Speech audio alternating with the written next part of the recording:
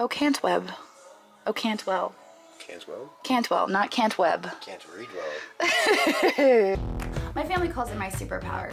It's my ability to see value in things that I can buy and flip for a profit. I'm the Crazy Wife Lady, and welcome to my channel. All right, well, we are here today at Adams Antiques, and we're here with Andrew. I might just take a nap. He might just take a nap here in the car while we go in and shop. No, you have to come in. You have to grace us with your presence. I might just take a nap. We're gonna go in and see what we can find that we can buy and flip for a profit. Here we go. Well, unfortunately, the music was very loud today, so I, am going to do a little bit of a voiceover. But the first piece I noticed was this coffee pot right here with the heavy moriage um, Moriagi, I guess, depending on how you want to pronounce it. But this was a really, really nice piece, and it was 20% off. I'd looked at it in the past, but never really pulled the trigger. And after the last set of Moriage did so well, I decided to grab it.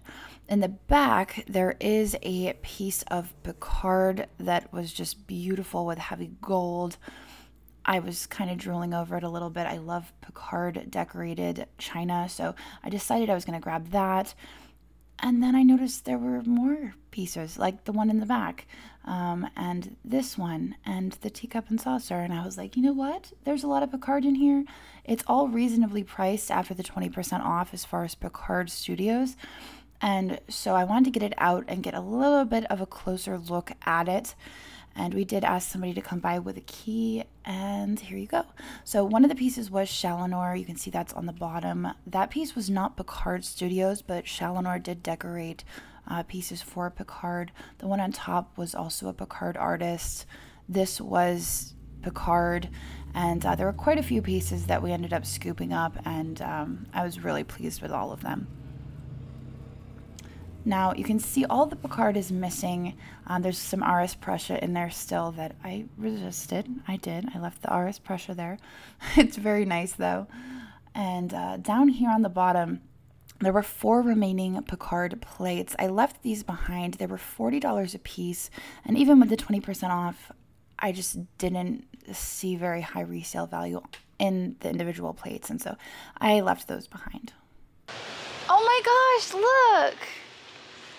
We had one of those. Did we sell ours? Yeah, we sold it. I can't remember how much it sold for though. Yeah, it's one of those with the naughty dogs being on the tree. I think we paid a hundred for ours. I'll have to look it up. Oh my gosh, I forgot about this. I'm pretty certain this is a Haeger glaze. I think it's called Peacock. They want $250 for this lamp glaze. Oh my gosh, it's magnificent. Oh, look at it. I can't remember if I filmed that the last time, but I'm almost certain that's what this is. Absolutely beautiful. I wouldn't want to ship that, but it's amazing.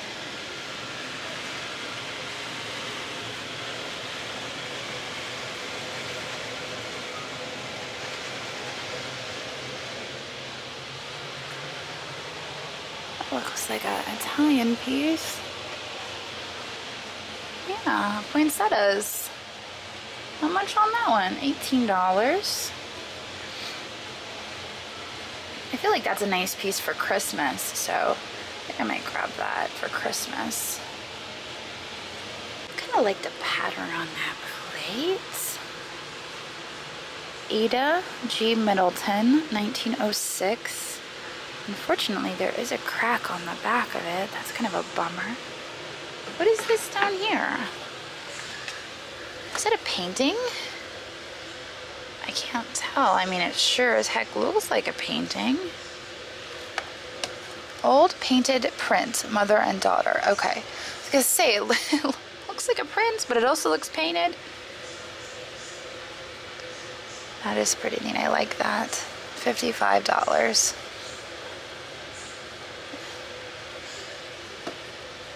That's cute. Did you see this? I like this. That's got a nice 20s look to it. Yeah, it's a painted print. They've got it on the back as an oil painting, but I'm like, you know, there's something about that, and that's what it is. It's a painted print. Look at this pretty lady. Alice something. She's interesting. She is $18. Pair of old man and woman statues. I'm a little confused. What about him? What does he look like? Interesting. He's got the lace on him. Arthur by Inez. I think it's Inez. Okay, so my instinct was correct. Um, it is California pottery. Inez California pottery. You can see these are all listed. I could not find any sold. But, um, yeah, California pottery. Very cool. I, am not, I was never familiar with that before, but um, I think I'm to pass on it just because none have sold. But, I mean, compared to those listed, I feel like that's a pretty decent price. Also, is that a unicorn on there? No, it's a Pegasus, of course. See that light fixture up there? That's pretty neat, huh? 225 At first I thought it said $60 and I was like, quick, get it down. And then I realized it was 225 Which is probably a little bit more on par. Ooh, wee, look at this.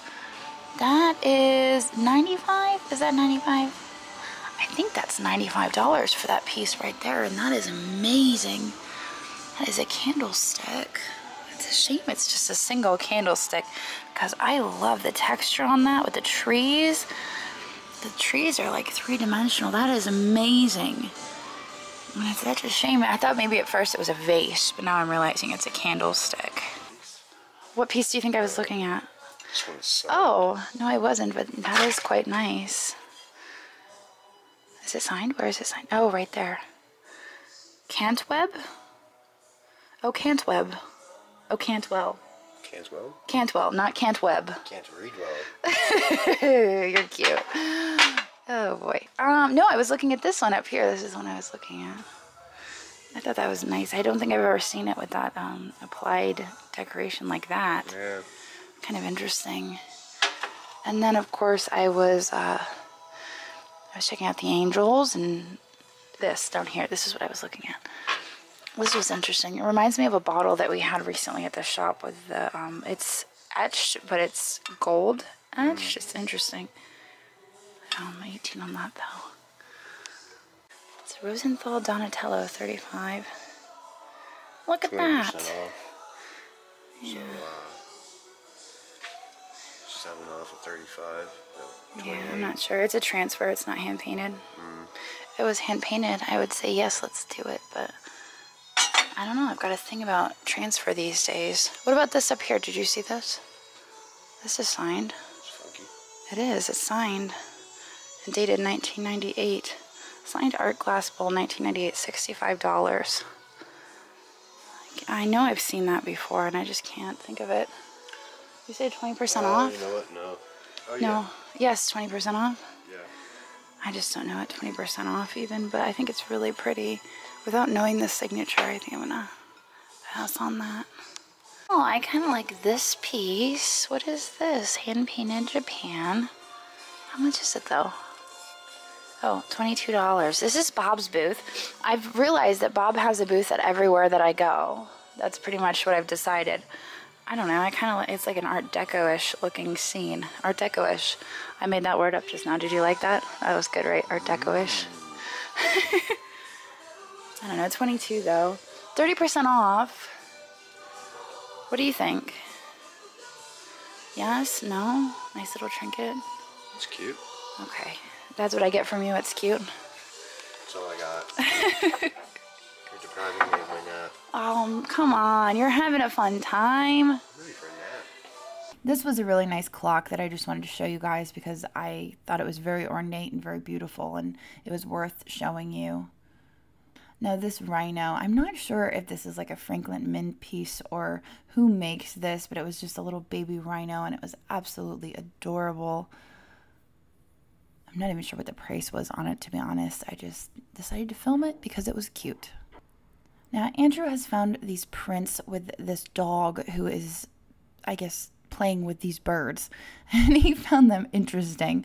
I wasn't actually sure if they were prints or if they were original artworks. And so we were kind of taking a closer look. It was a series. There were actually two pieces there. Um, you can see they are, they do have a sticker on the back, but they look to be like a bulldog or a boxer um, playing with these birds. You can see there he's grabbing the tail feathers of that poor bird. They're playing. It's it's a playing thing, I'm sure. Now, this is a booth that we have had very good look at in the past. This is Bob's booth, and I don't know who Bob is, but Bob seems to have a lot of booths in Adamstown, and a lot of the stuff in Bob's booth is reasonable. This was a nice picture, which I feel like I picked up the last time I was here. This was kind of a moment of deja vu for me. It's like, you know what? I feel like we did this before. This is definitely, you know what? I think I'm going to put this back. There was a reason I passed on this the last time. So I, I, put it back. Now, this booth was curious. They had these mounts, but they were all carved from wood and they were amazing. I thought that one was interesting. And in the back of the booth was this hall tree that held canes and it had these bears carved into it. They had it for 7500 Black Forest bear tree, but you can see the little baby bears climbing in the top of the tree. And uh, I would love to have a piece like that. I don't know where I would put it or how I could justify spending that sort of money, but it was really neat. Here's some mantel lusters, um, 625 for the pair. They are really nice mantel lusters. Here we've got a really nice cobalt piece. This one's 24. It's got the silver flakes and a little bit of uh, Bolacante in there. Nice little small piece. It's 25% off. I think I'm going to grab this piece because uh, I like the silver with the blue. I found I'm more drawn to the blue glasses recently, so we'll grab this. Don't remember these being here the last time, but this is a pair of crystalline glaze candlesticks. And I love that blue color. They're $15 for the pair. And uh, I really love those. So I don't see any damage to them. Looks like somebody stuffed them through, stuffed them with sticky tack to try to put a candle in there. But um, other than that, they're in good condition. So I'm gonna grab those very carefully, like this. Ooh, wow, we! I just noticed this. It's $28. It's on glass. Look, it's got a bird, the sun on it, and it's got the texture too. It is a perfume bottle, I believe. Is that what they got it marked as? Antique glass vase. Oh, maybe it is a vase.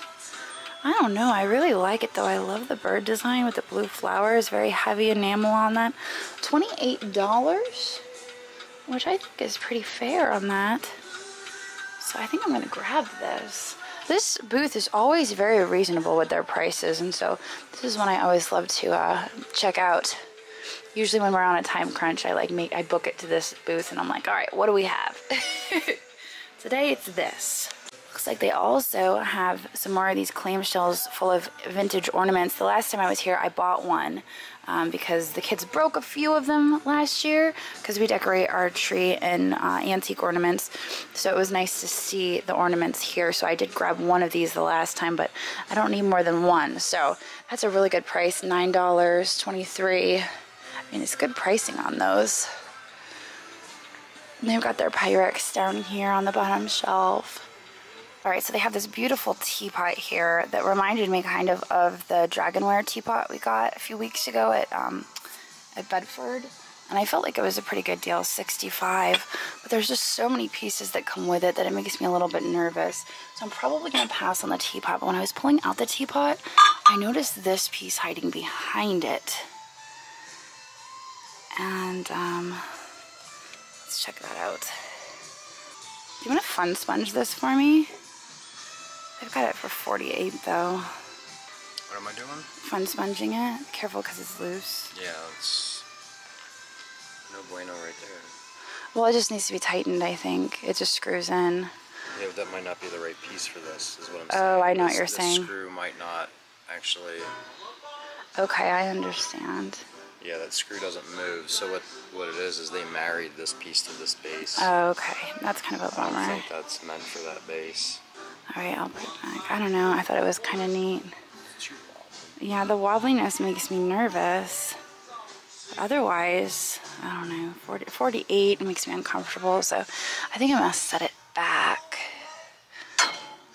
The teapot, brass screw, but I feel like having to even change a brass screw is too much. yeah, especially on that fragile glass. The teapot is absolutely amazing and a fantastic deal. I'm just not sure that it's right for me, so I think I'm gonna pass on that. Um, let's see what else we've got in here real quick, and then we gotta get out of here. Of like that. I feel like that's deja vu as well. We picked that up the last time, maybe. Um, they've always got some really nice things stuffed in here, like this kitty. Oh my gosh, if I recall, that weighs a ton, so that's not really a shippable item. But they've got some fun pieces in here. We've got the face mugs up there. This is a cute little vase. Only, only 12 to 12 bucks. But anyway, I think we're gonna get out of here now. Fish is also lots of fun. I think we're gonna out of here. We're gonna head up to the, to front desk, and if I see anything else, I'll let you know. All right, well, that was a pretty successful trip to Adams Antiques. Our total spend there was 800 bucks. $808. Uh, I'm very excited with all of the Pickard. I feel like that was pretty good. I mean, yes, we did pay up for it, but Pickard can sell very, very well, as evidenced by the mug we have listed right now. It's over $200. It's just that hand-painted Pickard. The quality of work that went into that stuff Oh, is just absolutely. far superior. I mean, it's just beautiful. I love, I love Pickard. That's one of my one of my biggest regrets was selling a Pickard plate that we had early on in one in the thousand dollar Eric haul that we did early on. We did a whole haul of China, and in that haul was a Pickard plate, and that was one of my regrets that I sold. I wish I had sold that. So um, now I'm constantly chasing the Pickard, and today was one of those days. You know, you talk about that, and I think it's kind of funny, like looking back on that, Yeah. because we were like, oh my god, we're gonna spend a thousand dollars on stuff. Oh my god. Oh no, oh my god, like Yeah, that's a we, lot it was of money. it made us really anxious to spend that money.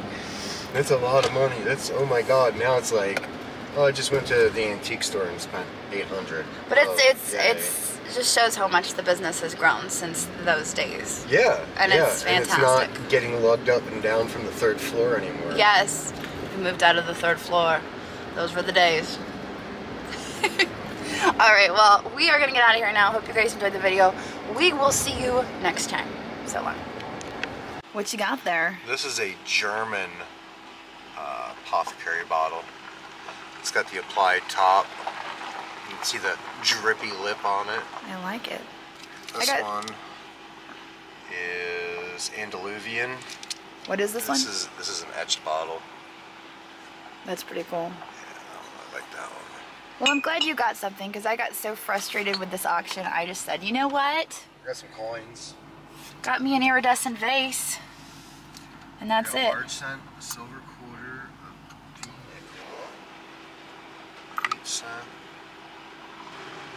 This is a George II. Large cent, 1835. That was only like 17 bucks. The large cent alone is like a $20 bill. I knew, I knew it was. That's why I sent you the link. I was like, look at these coins. Yeah, you did get on that. Um, this is called a case gin. Yeah. This is shaped like this because then it they evenly fit into crates for shipping. This one's a little later. Let's see. Then we got oh uh, F Engel. This is a fairly common, but it's a Lancaster. It's a blob top. This one's probably turn of the century, late late 1890s, early 19s. Slug plate crown top Reading bottle and another just a plain old blob top with the stopper still in it nothing special there good decorative but that's about it Very cool. You made out. yeah I did I'll, I'll do all right on this stuff And this is all I got. Thanks for watching and I hope you enjoyed this video. In case you spotted something you just can't live without, we do post 25 to 30 new items in our eBay shop every single day, and I've posted a link to that down in the description.